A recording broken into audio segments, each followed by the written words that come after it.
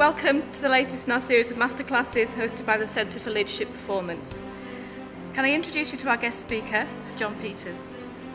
John is an experienced speaker of international repute. John came to the attention of the world in 1991 when he and his navigator were shot down by Iraqi forces and captured. They suffered a seven week ordeal of torture and interrogation, which took them to the limit and brought them close to death. John is also Director of Performance of the Executive MBA at Aston University, and John plans to share his journey with us. It's terribly un-British, really, you know, who's a leader, because the moment someone does this, someone else probably says, I wouldn't follow them, you know. Be... But actually, there is this choice between, it's not just people have got to choose to lead as well as people who choose to follow you. How does that define you as a leader?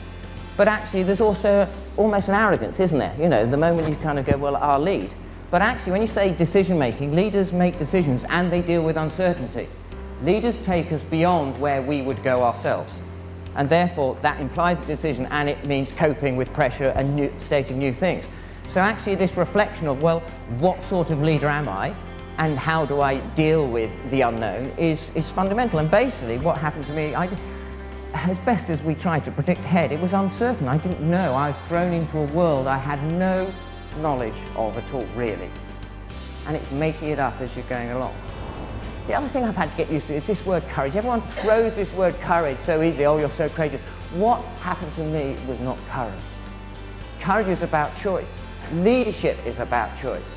Dealing with pressure is about making a choice. You know, and you don't have to be a fighter pilot. You don't have to be in the military to understand that. You think over the last couple of years, and maybe in your business now, it's about the choices you've had to make, the tough choices when you've had to make someone redundant, someone you care about, or shut down a business when you've built that business for 10 years and you've suddenly had to make a real choice because it's those are the difficult choices, those take courage.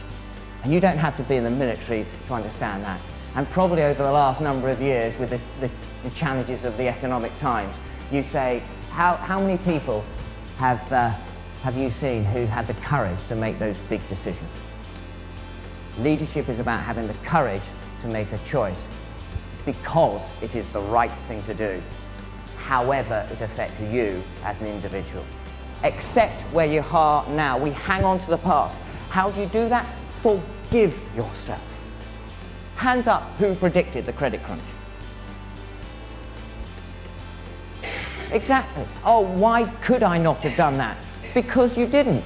Accept where you are. And then, by forgiving yourself, that gives you the opportunity to learn. Why? Because the moment you forgive yourself, you accept that you make mistakes. The moment you accept that you make mistakes, you start to learn from those mistakes. When you start to learn from those mistakes, you start to adapt. When you start to adapt, you start to change. And when you change, you suddenly will never lose. What did I do?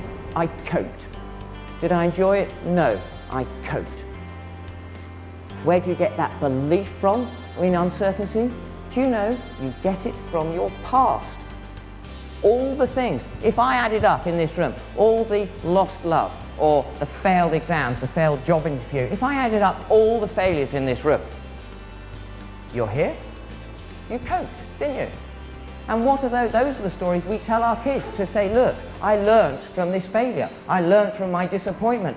And you are made stronger by it. I hope some of these thoughts uh, resonate with you. But in dealing with your decisions and the tough decisions and choices you have to make, dealing with uncertainty, why do you lead the way you do? And actually find something that's meaningful and purposeful to you. So thanks very much, leader, and I wish you all the best.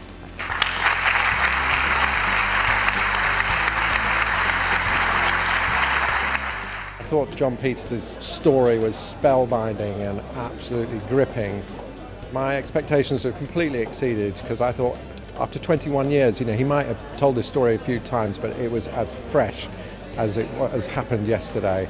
I thought there was loads of transferable learning for you know the leaders in the room thinking, wow, yes, this, this is about resilience, this is about coping, this is about making decisions and reflecting on everything that's going on and constantly relearning to cope with whatever's going to hit you next. So I got a lot out of it.